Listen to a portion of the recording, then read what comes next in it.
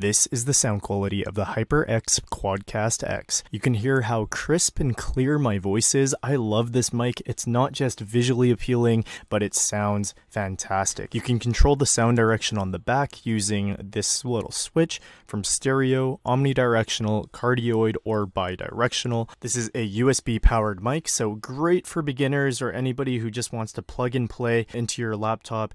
It looks kind of like it's floating in midair. It's just an amazing looking mic. I hope you guys enjoyed this, and I'll see you in the next one.